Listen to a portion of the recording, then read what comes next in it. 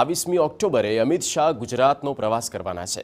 બાવીસ ઓક્ટોબરે તેમનો જન્મદિવસ છે અને વિધાનસભા લેજિસ્લેટિવ ડ્રાફ્ટિંગ સેમિનારનું પણ આયોજન છે. અમિત શાહ વિધાનસભાના કાર્યક્રમમાં હાજરી આપવાના છે. વિધાનસભામાં રજૂ કરાતા બિલના ડ્રાફ્ટિંગ માટે સેમિનારનું આયોજન કરવામાં આવ્યું. સિત્તેર જેટલા અધિકારીઓની ટ્રેનિંગ થવાની છે. સેમિનારની શરૂઆત ગુજરાત હાઈકોર્ટના એડવોકેટ જનરલ કમલ ત્રિવેદી કરવાના છે. લોકસભા સ્પીકર જીએનએલયુ અને વિવિધ સંસ્થામાંથી કાયદા નિષ્ણાંત સેમિનારમાં ભાગ લેવાના છે.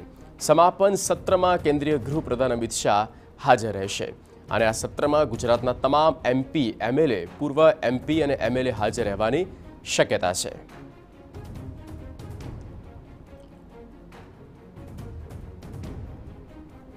બાવીસમી ઓક્ટોબર, અમિત શાહનો વધુ એક ગુજરાતનો પ્રવાસ. સંવાદદાતા કિંજલ મિશ્રા ફોનલાઈન પર કિંજલ, પૂરી વિગત. તો લાગે છે સંપર્ક થઈ શક્યો નથી. અમિત શાહ ફરી એક વખત ગુજરાત આવી રહ્યા છે. કેન્દ્રીય ગૃહપ્રધાન અમિત શાહનો ગુજરાત પ્રવાસ નક્કી કરવામાં આવ્યો છે બાવીસમી ઓક્ટોબરનો દિવસ અને આ દિવસે તેઓ અનેક કાર્યક્રમમાં હાજરી આપવાના છે. અને વિધાનસભામાં રજૂ કરાતા જે ડ્રાફ્ટ છે તેની પણ સેમિનાર સિત્તેર જેટલા અધિકારીઓની ટ્રેનિંગ પણ થવાની છે. કાયદાના નિષ્ણાંતો છે, આ સેમિનારમાં ભાગ લેવાના છે. તમામ ધારાસભ્ય, સાંસદ સભ્યો છે. તેઓ પણ હાજરી આપવાના છે. કિંજલ મિશ્રા ફોન લાઈન પર છે. કિંજલ પૂરી વિગત. વિધાનસભાનો જે આ કાર્યક્રમ છે, ખાસ કરીને તેની માટે બનાવવામાં આવ્યો છે કે જે પણ બિલ હોય છે, તેના ડ્રાફ્ટિંગની અંદર તમામ પ્રકારના ડિટેલિંગ હોય તે આવે અલગ અલગ જે બિલ રજૂ કરવામાં આવતા હોય છે અને ત્યારબાદ મંત્રીઓ તેને ફ્લોટ કરતા હોય છે.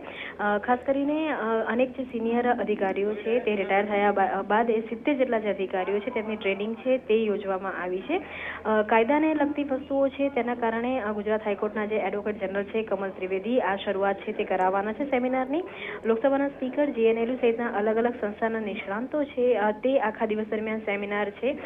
તે તેની અંદર વક્તા તરીકે હાજરી આપવાના છે. સમાપન સત્રના અંતની અંદર કેન્દ્રીય ગૃહપ્રધાન અમિત શાહ છે તે આ અંગે ચર્ચા કરશે. સમાપન સત્રમાં રાજ્યના તમામ એમપી એમએલએ પૂર્વ એમપી એમએલએને અપક્ષિત રાખવામાં આવ્યા છે. એટલે કહી શકાય કે કાયદાને લઈને મહત્વપૂર્ણ જે એક સેમિનાર છે તે વિધાનસભામાં યોજાવા જઈ રહ્યું છે કે જેમાં અમિત શાહ પણ બાવીસ ઓક્ટોબરે હાજર રહેશે.